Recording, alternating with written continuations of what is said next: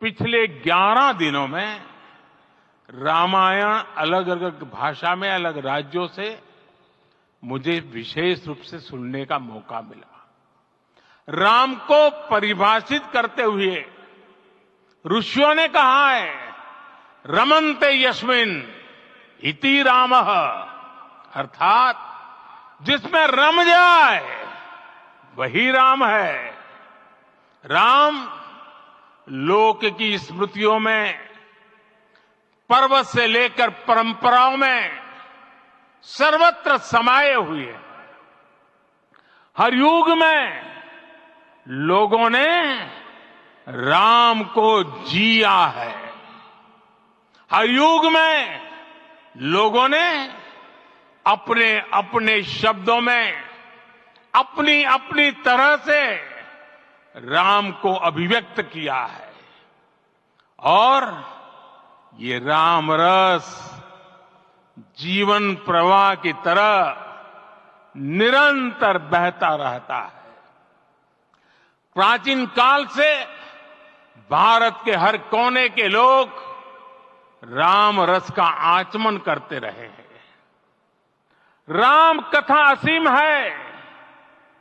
और रामायण भी अनंत है।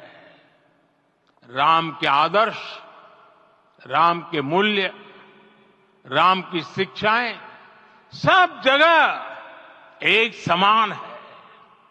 प्रिय देशवासियों, आज इस ऐतिहासिक समय में देश उन व्यक्तित्वों को भी याद कर रहा है, जिनके कार्य और समर्पण की वजह से आज हम ये शुभ दिन देख रहे हैं। राम के इस काम में कितने ही लोगों ने त्याग और तपस्या की पराकाष्ठा करके दिखाई है। उन अनगिनत राम भक्तों के, उन अनगिनत कार सेवकों के और उन अनगिनत संत महात्माओं के हम सब ऋणी हैं।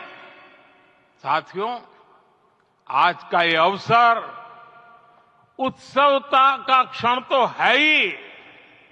लेकिन इसके साथ ही यह क्षण भारतीय समाज की परिपक्वता के बोध का भी क्षण है।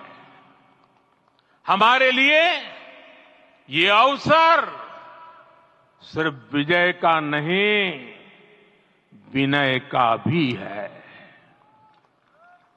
दुनिया का इतिहास साक्षी है कि कई राष्ट्र अपने ही इतिहास में उलझ जाते हैं।